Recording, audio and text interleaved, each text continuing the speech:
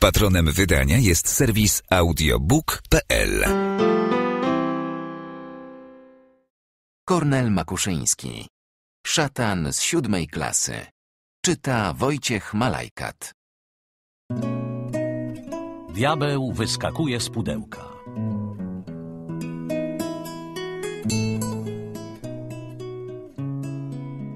Pan profesor Gąsowski nauczał historii wedle własnej, nieco rozwichrzonej metody. Niektóre wielkie postacie, błąkające się po elizejskich polach albo krążące pośród gwiazd, bardzo miłował, o niektórych rozprawiał z drwiącym lekceważeniem, a w licznym, nieśmiertelnym tłumie były i takie, o których nie chciał mówić wcale. Omijał je przy spotkaniu, udawał, że ich nie dostrzega, nie kłaniał im się. O ukochanych osobistościach mówił z gorącym zapałem, piejąc na ich cześć górne hymny, po każdym zdaniu zasadzając wykrzyknik jak cyprys na grobie. O Napoleonie, z ukochanych najukochańszym, rozprawiał jak natchniony poeta. Zdawało się, że każdej chwili zakrzyknie gromko Niech żyje cesarz i rzuci się w bój krwawy szatan. Napoleon, siedząc okrakiem na komecie, jak na ognistym koniu, z wielką przyjemnością przysłuchiwał się panu profesorowi Gąsowskiemu. Gdyby mógł sięgnąć z nieba, przypiąłby na jego piersi krzyż Legii Honorowej. Mniej zadowolony z tych wykładów był piękny Alcybiades, o którym pan profesor mówił z lekceważeniem, że był to fircyk, elegancik i w ogóle wydmuchana osobistość. Nie można było dojść, czym sobie szlachetny Ateńczyk zasłużył na tę opinię. To go jedynie mogło pocieszyć, że o innych nieśmiertelnych pan profesor szerzył zgoła oszczerstwa. Cezar miał zamazaną hipotekę i gdyby to zależało od pana profesora Gąsowskiego, nieśmiertelność pozbawiłaby go prawa korzystania z niezmiernej chwały. Tym, o którym pan profesor wcale nie chciał mówić, któremu by się nie ukłonił i któremu by nie podał ręki, był Hannibal – Dlaczego? O tym wiedzą jedynie kartagińscy bogowie, jeżeli w ogóle o czymś wiedzą, bałwany opasłe. Hannibal miał wielu wrogów, straszliwych wrogów, śmiertelnych wrogów, ale nigdy i przenigdy nie miał takiego, jakim był twardy, zawzięty i nieustępliwy pan profesor Gąsowski. Od wielu lat mieli z sobą na pieńku. Nieszczęsny Hannibal, łypiąc jedynym okiem, chwytał się za głowę i jęczał. Co ja takiego mogłem uczynić, że mnie pan profesor Gąsowski tak nie znosi? Nikt tego nie wiedział. Wiedział tylko pan profesor. Miał on duże, jasne oczy i taki w nich wyraz, jak gdyby zawsze był zdziwiony. Czasem znagła przerywał wykład, patrzył daleko przed siebie i długo się czemuś przyglądał. Cała siódma klasa wpatrywała się w to miejsce, lecz nikt niczego nie mógł dojrzeć, bo nie było w tym miejscu nawet mizernej muchy, podrygującej w wiosennym słońcu. Coś jednak musiało być. Może to właśnie Perykles, cieszący się dość dużą sympatią pana profesora, stąpał przez ateński rynek? Może się tam toczyła bitwa? Może krzyżowcy zdobywają Antiochię? Kiedy widma przesiały się przez blask, pan profesor wzdychał i patrzył na trzydzieści rumianych gęb z takim zdumieniem, jak gdyby je ujrzał po raz pierwszy w życiu. Trzydzieści gęb patrzyło w niego ciepłym spojrzeniem, bo pan profesor był wielce miłowany. Klasa siódma, w której nauczał wzniosłych dziejów, znając dobrze jego serce, zachłyśnięte nabożnym podziwem dla Napoleona, oddawała cesarzowi przy każdej sposobności takie honory, że pan profesor Gąsowski promieniał. Gdyby Napoleon mógł wrócić na ziemię, choćby na nowe sto dni, on byłby pochwycił sztandar, a klasa siódma pobiegłaby za nim. Nie samym jednak Napoleonem żyje człowiek, Czasem musi też zajmować się tym opryszkiem Hannibalem. Trudno. Historia jest bigosem, ciężko strawną zbieraniną nie tylko z całego tygodnia, lecz z lat wielu tysięcy. Pan profesor Gąsowski, wałęsając się przez długie swoje życie po nieogarnionych dziedzinach, przeskakując przez tysiąclecia jak przez przepaście, biorąc żywy i namiętny udział w wojnach, zawierając sojusze i podjudzając rewolucję, stał się niezwykle roztargniony. Nie jest to dziwne, skoro się zważy, że po nieszczęsnej jego głowie cwałowały wieki jak konie, a daty skakały jako te pchły. Pan profesor miał w głowie huczący młyn. Twierdzili niektórzy, że łatwo byłby sobie dał radę z kilku tysiącami lat. Zamęt jednak w jego szlachetnej duszy spowodowało zmaganie się z kilku tysiącami urwipołciów i małpoludów, których nauczał przez tyle lat. Twierdzenie to jest wielce do prawdy podobne. Roztargnienie pana profesora Gąsowskiego było zdumiewające. Opowiadają o pewnym uczonym, że smarował masłem dłoń, głęboko przekonany, że smaruje trzymaną na dłoni bułkę. Takie doskonałe pomysły byłyby drobnostką dla pana profesora Gąsowskiego. Nie jest natomiast prawdą, że to jemu właśnie zdarzyła się koszmarna historia, chociaż byli tacy, co chcieli przysięgać, że nikt inny nie mógł jej urządzić.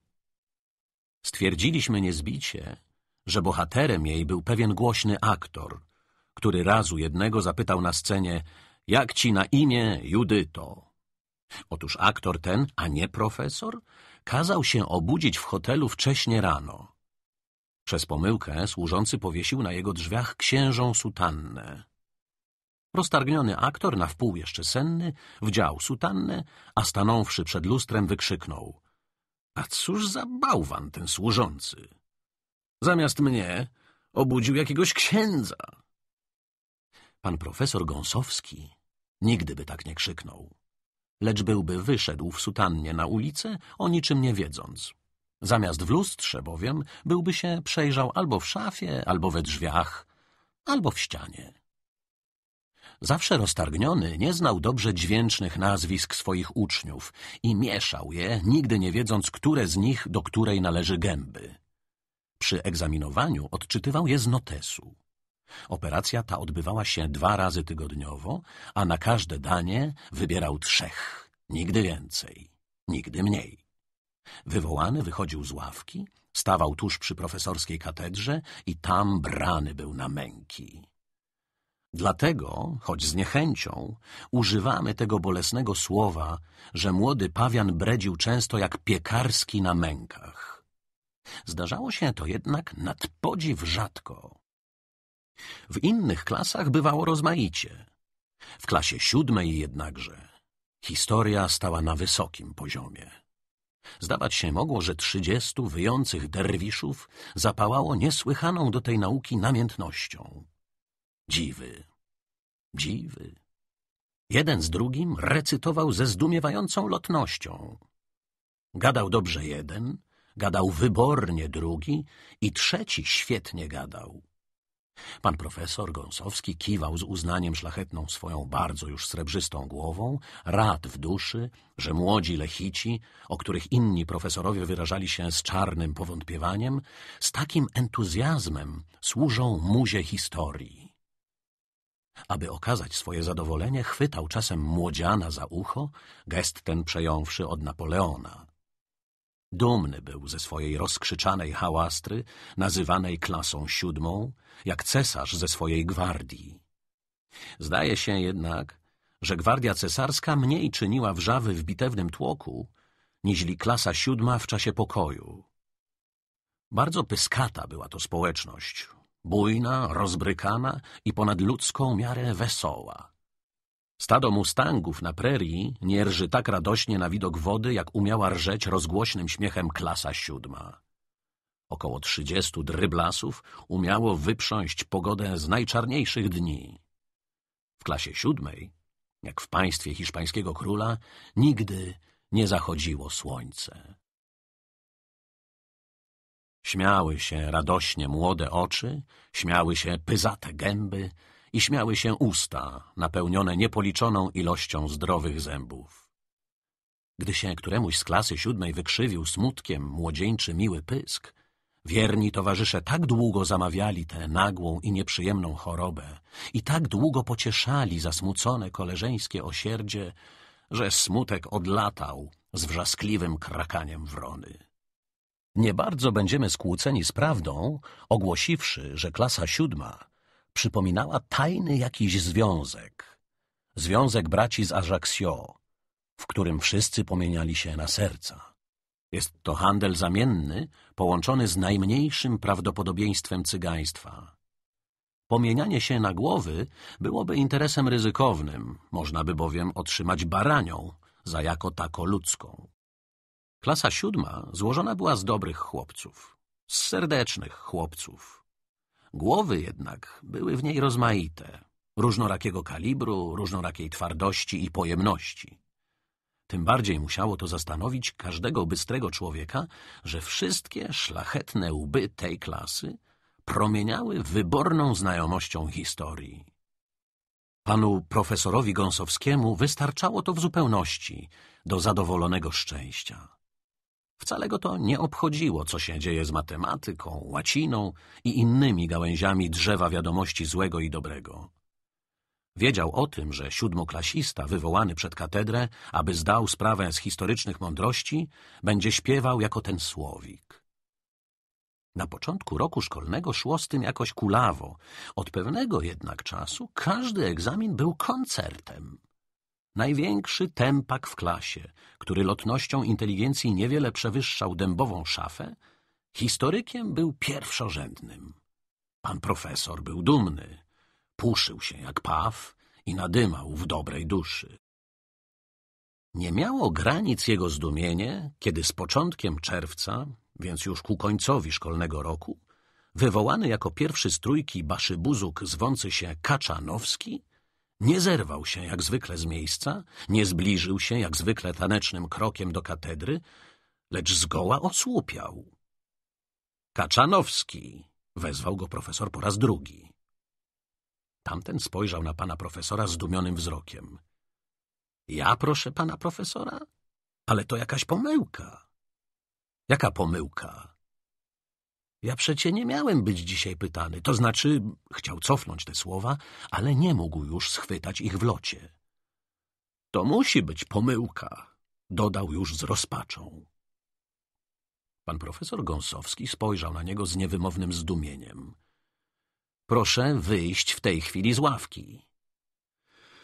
Dobrze, panie profesorze, rzekł Kaczanowski z goryczą. Ale z tego i tak nic nie będzie. Po klasie przebiegł zatrwożony szmer, jakby wiatr poruszył śpiące sitowie. Skazaniec zbliżył się do katedry i stał, zamieniony w słup soli. Znękany, pobity, nieszczęsny. Zdziwiony, rozżalony, pobladły i gotowy na śmierć. Klasa zaczęła dawać mu dziwaczne znaki, zachęcać go szeptami, ruchami rąk i mruganiem oczów. Siedzący w pierwszej ławce dobry kolega Cisowski krzyknął zduszonym szeptem brzuchomówcy — zawróć do Napoleona! Była to dobra rada. Można było czasem, omijając zbyt trudne zawiłości, śmiałym przeskokiem w stronę cesarza ocalić straconą pozycję. Należało, rozprawiając o edykcie nantejskim, rzec ni z tego, ni z owego Napoleon byłby z tego wybrnął. Tak myślisz? Wtrącał wtedy pan profesor. A jak? Dalej szło już gładko, a czas mijał. W tej chwili jednak zbawienna rada niewarta była funta kłaków. W zacnym profesorze obudziła się niezwykła czujność. Zawsze zdumione jego oczy były jeszcze więcej zdumione. Patrzył długo na zbuntowanego młodzieńca i dziwnie kręcił głową. Co znaczą twoje słowa, że z tego dzisiaj nic nie będzie? Zapytał ponuro. Bo ja nie jestem przygotowany, rzekł Kaczanowski z determinacją. Nie może być, zakrzyknął pan profesor. To niesłychane. Nic nie umiesz? Nic, panie profesorze. Uczciwie się przyznajesz? Najuczciwiej. Dlaczego? Proszę bardzo, dlaczego? Bo ja... Przestań! krzyknął brzuchomówca z pierwszej ławki. Bo co ty? Aha, powiedziałeś, że nie miałeś być pytany. Na jakiej podstawie możesz tak twierdzić? Kaczanowski milczał. Zaciął usta i pochylił głowę. Nadzwyczajne, mruczał profesor. Nadzwyczajne. Żegnam pana, Pan Kaczanowski szedł do swojej ławki takim posuwistym i leniwym krokiem, jak gdyby tam miał kupić własną trumnę, a do tego na kredyt. Na klasę spadła cisza. Wszyscy patrzyli na pohańbionego kolegę ze strwożonym współczuciem. Pan profesor nie mógł pojąć, co się stało. W roztargnieniu rozgrabił siwą, bogatą czuprynę chudymi palcami i wpatrzył się w ścianę, jak gdyby na niej miało się za chwilę ukazać ognistymi zgłoskami wypisane tłumaczenie. Dlaczego miły młodzian Kaczanowski, chłopiec rozsądny i rozgarnięty historyk, nagle i niespodziewanie w bałwana przemienion? Ponieważ na ścianie nic się nie ukazało, staruszek spojrzał błagającym spojrzeniem na piec. Piec też pochodzi z rodziny dziedzicznych idiotów. Przymknął przeto oczy i spojrzał w głąb roztropnego ducha, z którym musiał pogadać na rozum. Roztropny duch wyjaśnił mu pokrótce, że jak jedna jaskółka wiosny nie czyni, tak jeden Kaczanowski nie zburzy jego radości i dumy. Kaczanowskiemu musiało uderzyć coś na rozum. Może upał, a może boli go ząb.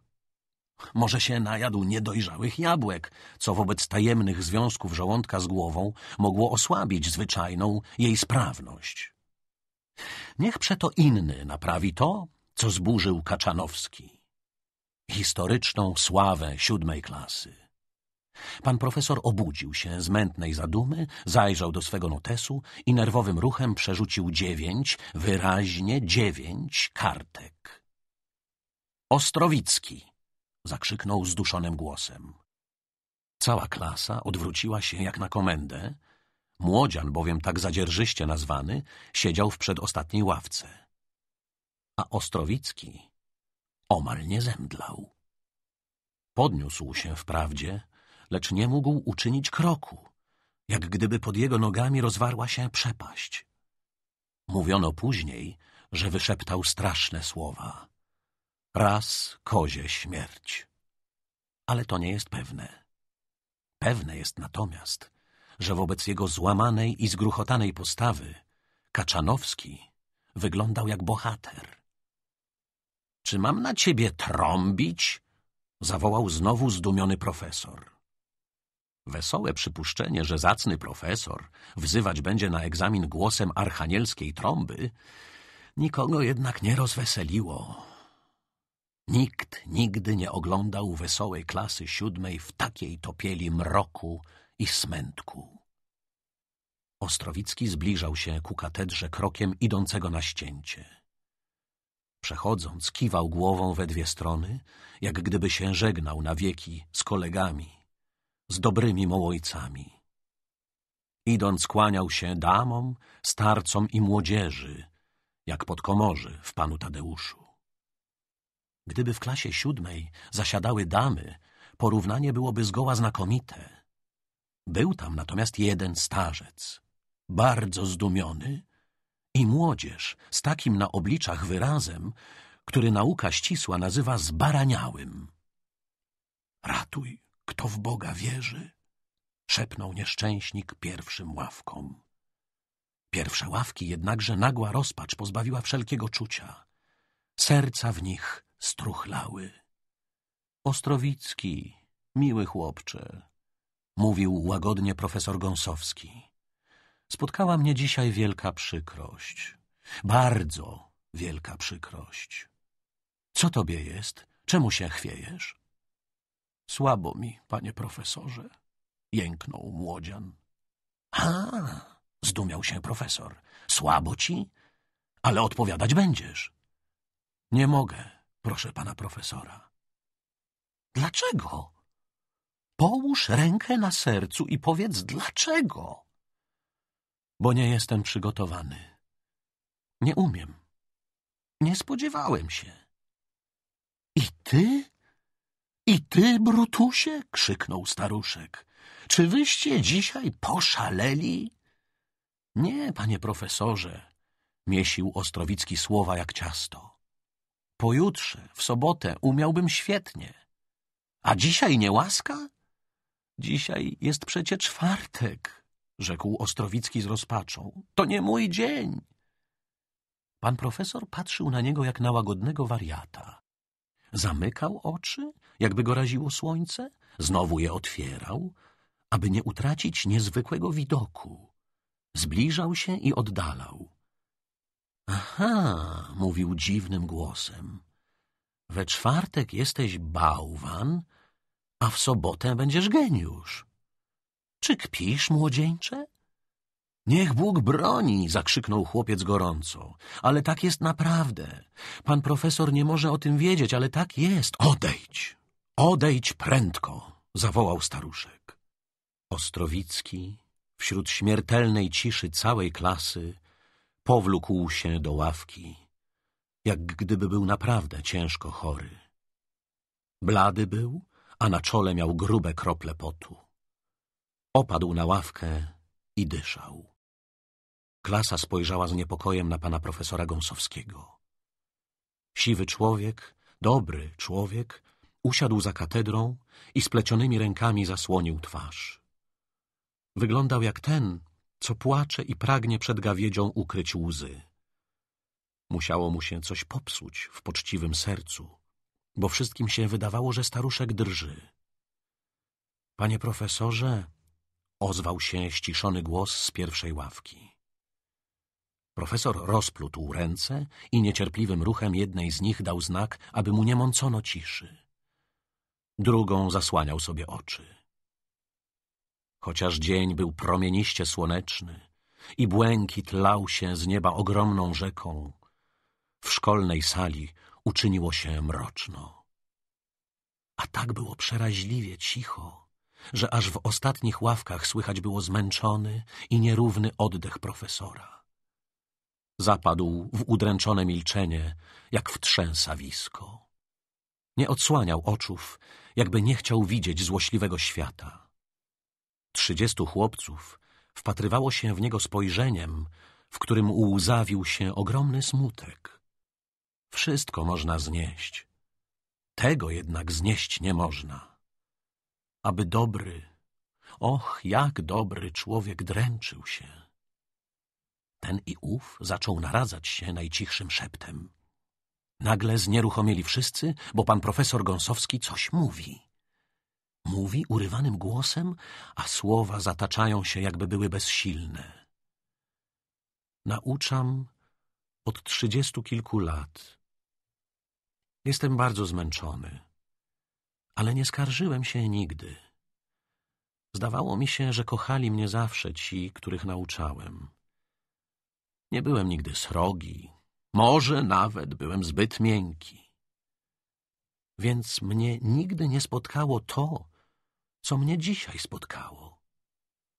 Byłem dumny z siódmej klasy i oto mam nagrodę. W siódmej klasie zakpiono sobie ze starego człowieka. Panie profesorze, ozwał się jakiś głos z tylnych ławek. Nie przerywaj mi. Tak, dobrze mówię. Zakpiono sobie ze mnie. Moi chłopcy naigrawają się ze starego człowieka. Jeden mówi, że nie na niego przypadła kolej, drugi nie chce odpowiadać, bo jest czwartek. Trudno. Mógłbym i jednego, i drugiego.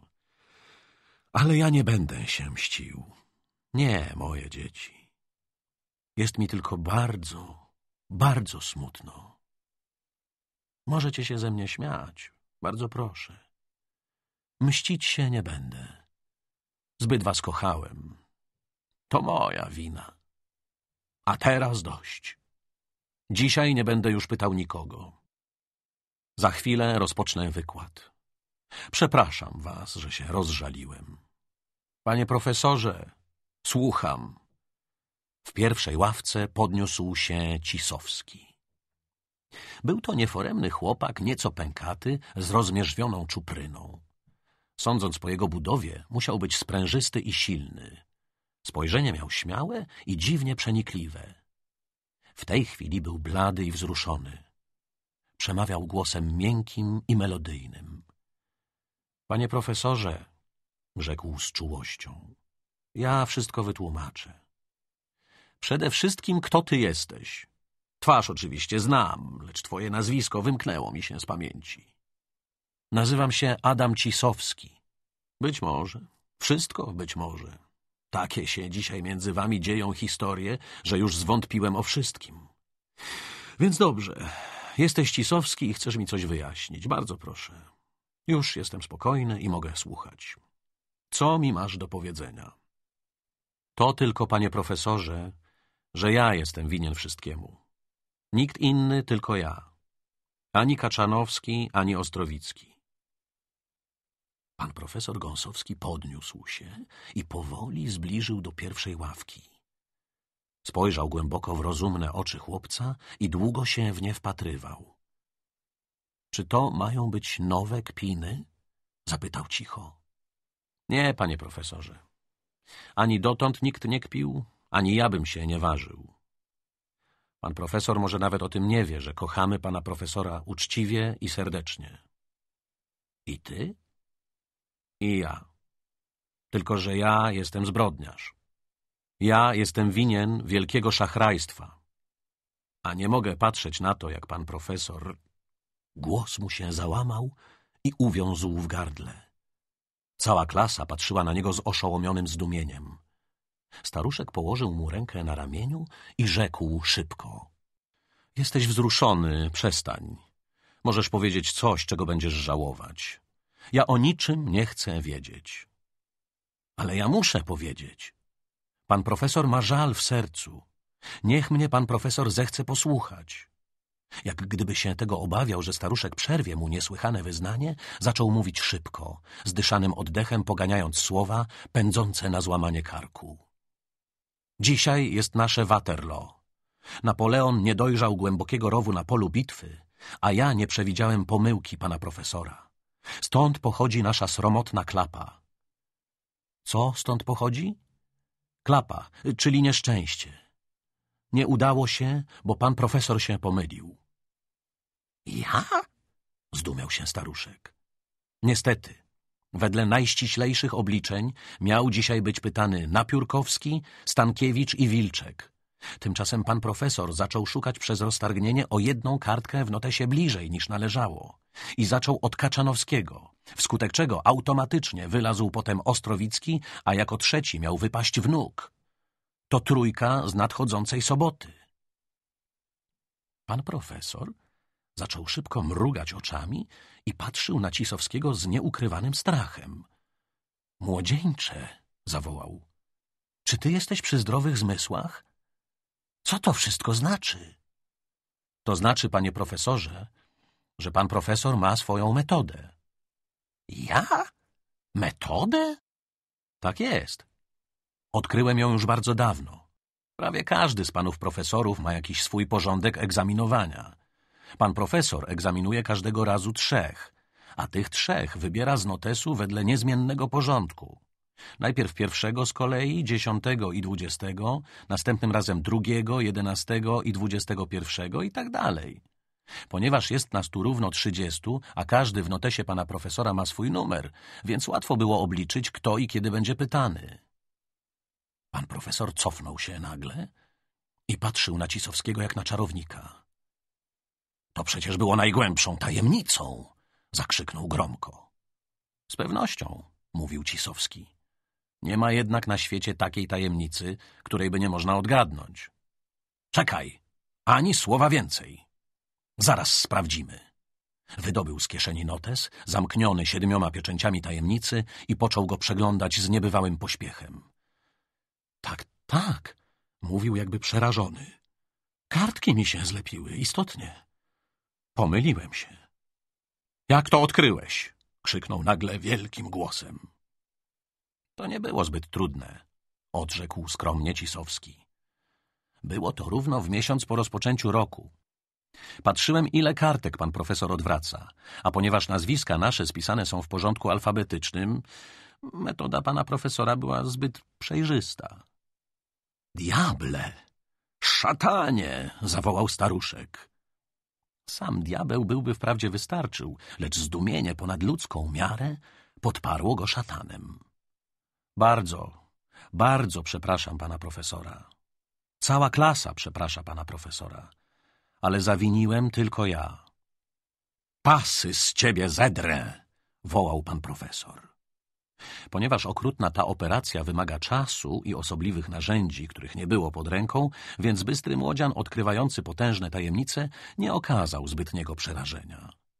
Stał skruszony i smętny jak ten jawor, co w piosence na polu stoi i czekał na potworne męki albo na krótki, zwarty, treściwy piorun.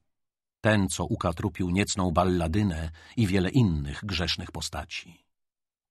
Pan profesor jednakże, serce gołębie, nie był zdolny do zbrodni. Wszystkie muchy harcowały bezkarnie na jego srebrnej głowie, wiedząc, że straszliwy ten pasjonat, co grozi darciem pasów, nie ukrzywdziłby żadnej. Uniósł się jedynie gniewem potężnym i krwistym. Niemal przez lat czterdzieści ukrywał swoją świetną, nieporównaną metodę egzaminowania, opartą na przemyślnym dowcipie. Trzeci, trzynasty, dwudziesty trzeci, dziesiąty, dwudziesty, trzydziesty i znowu z powrotem od pieca.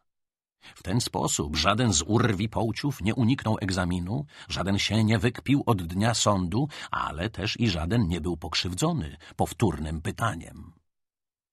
Nikomu nigdy nie przyszło do głowy, bo i jakżeż mogło przyjść? Trzeba szatańskiego sprytu, aby odkryć szatański pomysł, a przecie pomysł pana profesora Gąsowskiego był najsprytniejszym wybiegiem, godnym wielkiego dyplomaty. Chociaż wtedy gniew go zalewał, jak czerwone morze, chociaż ręce dygotały mu z nadmiernego wzruszenia, spozierał z chmurnym podziwem na tego obwiesia z pierwszej ławki. Obwieś, bo obwieś, ale ma odwagę. Przyznał się, aby go nie smucić. Co z nim zrobić? Zabić. O tym będzie czas pomyśleć. W tej chwili bowiem panu profesorowi zamigotała w głowie myśl tak jaskrawa, jak rozżarzona błyskawica. Znowu się zbliżył do złoczyńcy i mówił zduszonym głosem. Czy moją tajemnicę wyjawiłeś wszystkim? Tak, panie profesorze. Aha, objawiłeś, oczywiście, dobry kolega. W ten sposób każdy wiedział z całą pewnością z góry, kiedy będzie pytany i na ten dzień był doskonale przygotowany. Odpowiadaj. Niestety, panie profesorze, westchnął boleśnie największy opryszek nowych czasów. Dlatego Kaczanowski i ten drugi ani w ząb. Tak, bo to nie był ich dzień. Człowieku, krzyknął pan Gąsowski. Przecie w ten sposób nie umiecie nic. Odkrycie tej smutnej prawdy było tak piorunujące, że zdumieli się wszyscy.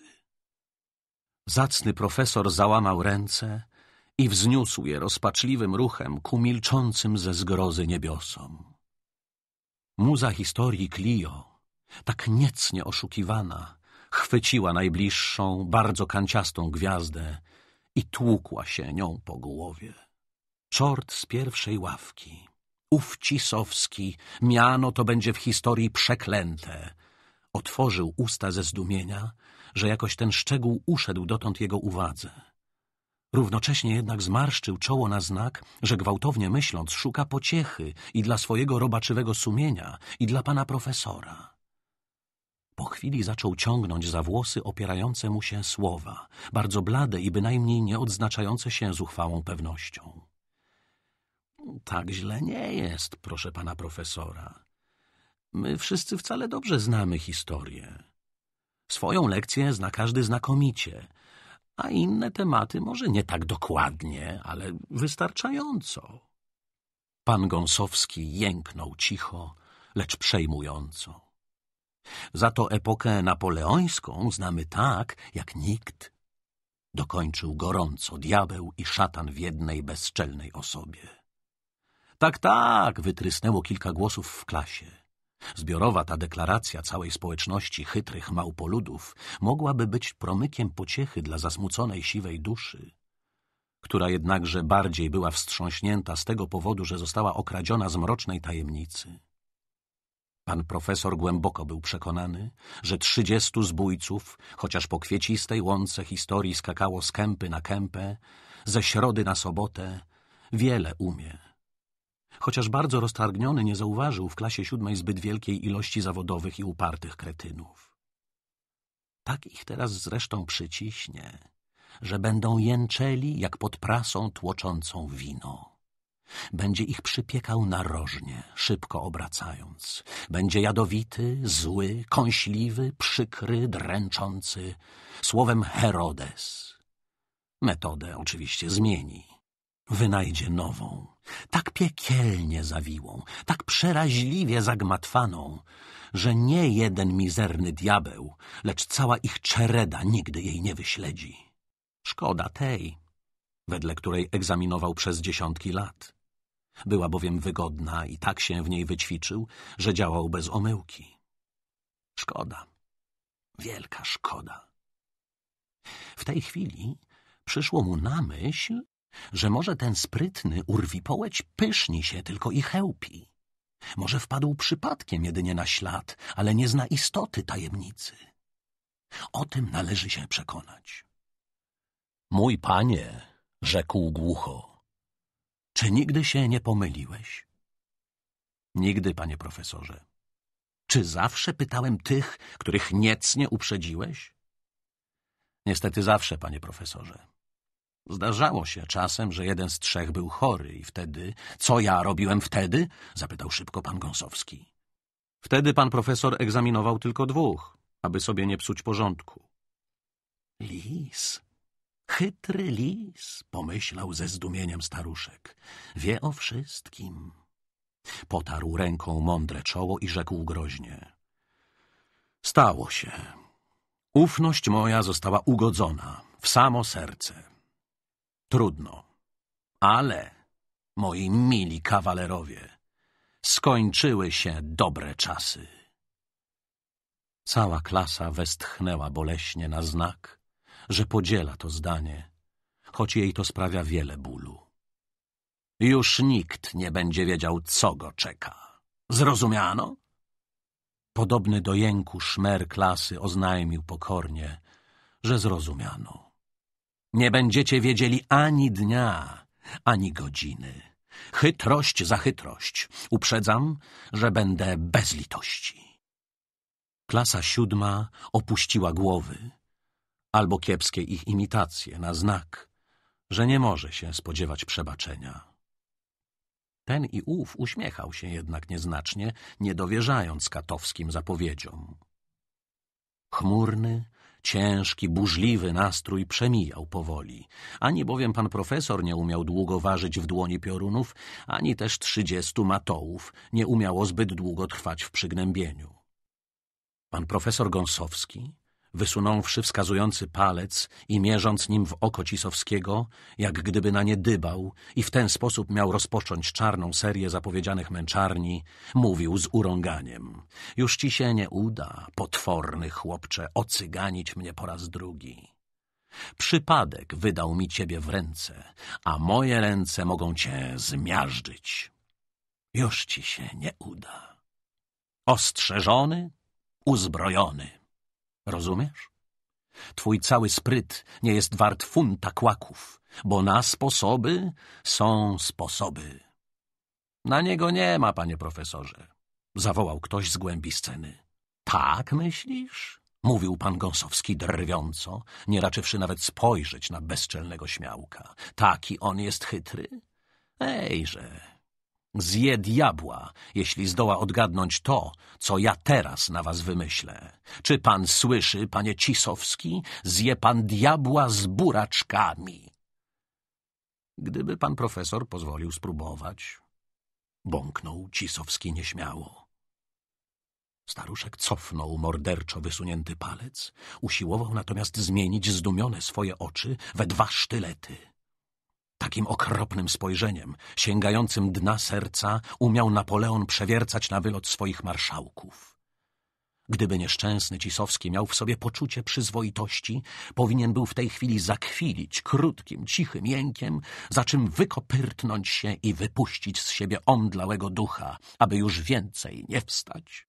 Pan profesor zdumiał się niepomiernie, że jeszcze przed nim nie leży smętny trup, lecz że wciąż stoi krępy i zuchwały dryblas, który się nazwał Cisowskim. Jeszcze żyje. I nie tylko żyje, lecz się łagodnie uśmiecha. Z tym należy uczynić koniec. Pragniesz próby? zawołał staruszek wielkim głosem. Okpiłeś mnie i myślisz, że ci się uda po raz drugi? A więc dobrze, spróbujemy się. Zapowiadam ci jednak, a wszystkich tu obecnych wzywam, aby byli świadkami, że marny będzie twój los. Może jestem słaby, może jestem nawet łagodny, ale dla ciebie nie będę ani słaby, ani łagodny.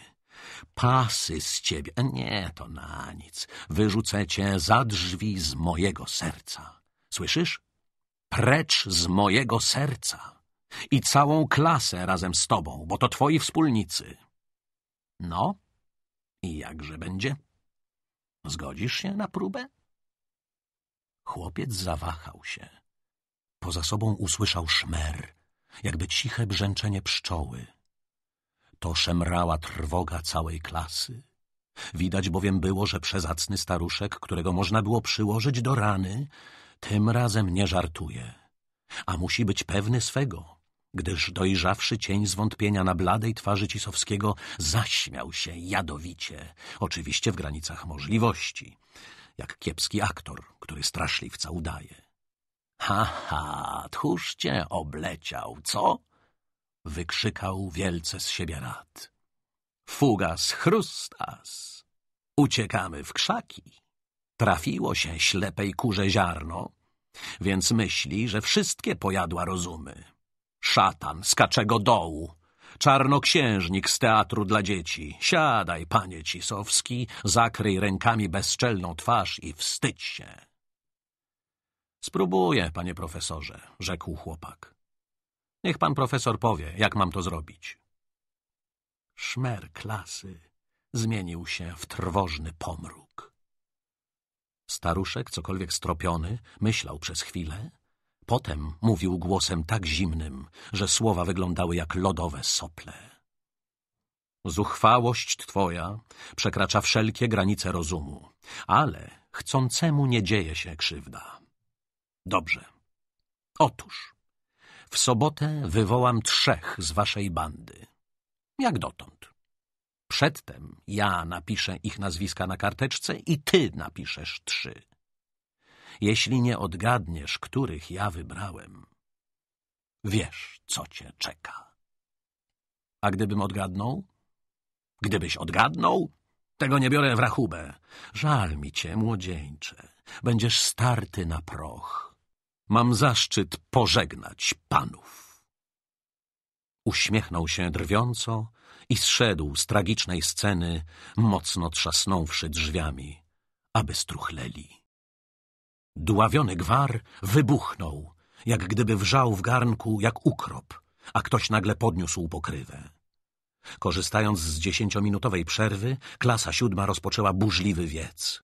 Ponieważ zgiełk był splątany, a jeden okrzyk usiłował stłumić drugi, nie można było dojść, czy splątanymi głosy gada trwoga i niepokój, czy też butna zuchwałość i pewność, że się Cisowski wydobędzie z toni. Posiadał on zasłużoną sławę najbystrzejszego chłopca w całej szkole. I ja jestem mistrzem w logice, rzekł o sobie szatan. Pan profesor, mianując szatanem Cisowskiego, bardzo był bliski prawdy. Rozumując z chłodnym spokojem, chłopak ten umiał rozwikłać najtrudniejsze zagadki. Nie tylko patrzył bystrze, lecz i widział bystrze. Ze spokojną, cierpliwą namiętnością obserwował wszystko i wszystkich. Sklejał z przedziwną zręcznością niedopowiedziane słowa, ułamki zdarzeń, okruchy i szczątki i umiał sklecić z tego znikomego materiału prawdopodobną całość. Posiadał wyobraźnię żywą, lotną i zataczającą ogromne koła. Wybiegała ona daleko naprzód, umiała cofnąć się w zapadający i gęstniejący mrok przeszłości i widziała tam to, czego zwyczajne, krótkowzroczne oczy dojrzeć już nie mogły. W nauce też wyprzedzał wszystkich, nad podziw pojętny. Pamięć przy tym miał znakomitą. Powolny z natury, myślał zawsze rozważnie, bez pośpiechu, z cierpliwością, niezgodną z jego wiekiem, miał bowiem lat siedemnaście. Nigdy nie tracił spokoju, ani nie unosił się gniewem. Pogodny i serdeczny kolega, wesoły i uśmiechnięty, uczynny i współczujący, zdobył sobie bez wielkiego trudu miłość u wszystkich. Klasa siódma dumna była z Cisowskiego. To też straszliwe zapowiedzi profesora Gąsowskiego dudniły, jak dalekie grzmoty. Profesor jest najzacniejszym człowiekiem pod słońcem. Krzywdy nikomu nie uczyni, lecz może dotrzymać jednej groźby. Nie z zemsty, lecz z żalu odsunie się od nich i wypowie im przyjaźń. To byłoby smutne. Więcej niż smutne. Tak bardzo kochali tego cudownego, siwego, pełnego ufności człowieka z duszą jasną i sercem ślicznym, że utrata jego przyjaźni byłaby klęską sromotną i nie do odrobienia. Cisowski uciszył zgiełk przez podniesienie ręki. — Nie krzyczcie wszyscy razem! — zawołał. — Czy to sztuba, czy klasa siódma? Słuchajcie. Zrobiliśmy staruszkowi przykrość. Musiałem się przyznać. Łajdactwo jest łajdactwem i na ten temat wszelkie rozważania są zbędne. Teraz trzeba będzie odrobić to szybko i uczciwie. Słusznie, zakrzyknął ktoś z głębokim przekonaniem. Przerobić cały materiał i zaproponować staruszkowi, aby pytał jak chce i kiedy chce. Zrobione? Zrobione, zrobione, zakrzyknięto. Doskonale. O resztę niech was głowa nie boli. Ale co będzie w sobotę? Zapytał drobny chłopczyna, bardzo jeszcze wstrząśnięty.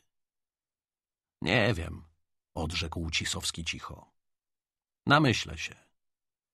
Może byłem głupi, że się ważyłem na to wszystko. Jeśli mi się nie uda, ubłagam staruszka, aby tylko mnie wylał na łeb i szyję. Wy nie jesteście winni. O jedno tylko proszę. Na sobotę ma być przygotowany każdy bez wyjątku. Niech tłucze łbem o ścianę, ale umieć musi. Skończyły się dobre czasy. I tak już musi być do końca roku. Będzie tak? Będzie, będzie. Teraz na miejsca. Szekspir powiada, palec mnie świeżbi, co dowodzi, że jakiś potwór tu nadchodzi. Matematyka jest już za drzwiami. Minęła godzina cyframi najeżona, jak madejowe łoże kolcami. Minęły inne godziny, smażące się w upale.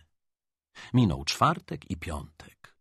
Przez nieszczęsne ryby oczekiwany z rozpaczą, a że nadeszła wedle powszechnej umowy kalendarzowej groźna sobota. Dzień sądu, dzień gniewu pana profesora i klęski Cisowskiego. Cisowski był bardzo skupiony i milczący. Cała klasa siódma była na odmianę milcząca i skupiona. Wszedł raźnym krokiem pan profesor Gąsowski, skupiony i milczący. Zdawało się, że cały świat jest w tym samym nastroju.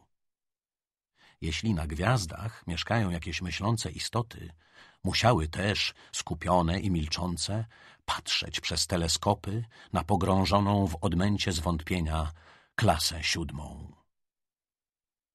I była chwila ciszy. I powietrze stało głuche, milczące, jakby z trwogi oniemiało. Jak w panu Tadeuszu. Staruszek patrzył na klasę, klasa patrzyła na staruszka. Nagle ozwał się głos Cisowskiego. Zdawało się, że słowa jego tak zabrzęczały, jakby ktoś nagle rozbił szybę, a rozpryśnięta cisza rozleciała się w tysiąc kawałków.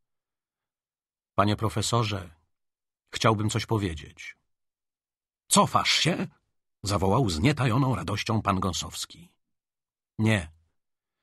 Chciałbym tylko najserdeczniej prosić pana profesora, aby w razie mego niepowodzenia pan profesor ukarał tylko mnie. Oni nie są winni. Pomyślę o tym.